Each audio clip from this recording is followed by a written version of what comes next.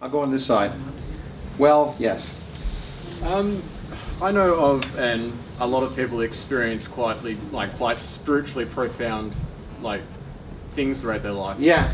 Unreligious, just purely spiritual. Like, do you think that can be sort of proven with science, or do you feel that there are still certain things and certain realms and dimensions that people can experience that will never be proven with science?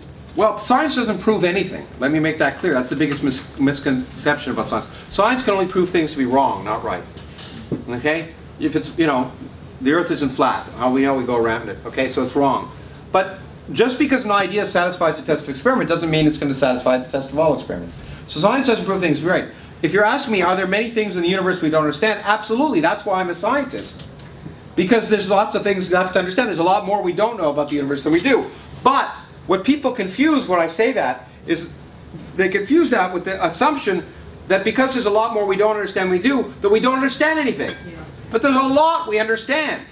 And the spiritual things, if you want to call them that, that many of the exotic phenomena people experience, in general, violate the things we know to be correct on the basis of experiment. So they're highly likely to be wrong. And so I can't say to someone who's, who's um, heard God in their ears that they're, that they're not hearing God, but I can say it's much more likely that you're hallucinating based on what we know. In fact, uh, again, to quote Feynman, when he's talking about aliens, he said, I think aliens are much more likely to be due to the known irrationality of humans than the unknown rationality of aliens. Because it's much more likely. If you look at the likelihood that a spacecraft could come to the Earth, almost anything you could think about is more likely. And what science deals with is not true and false. It's likely and less likely.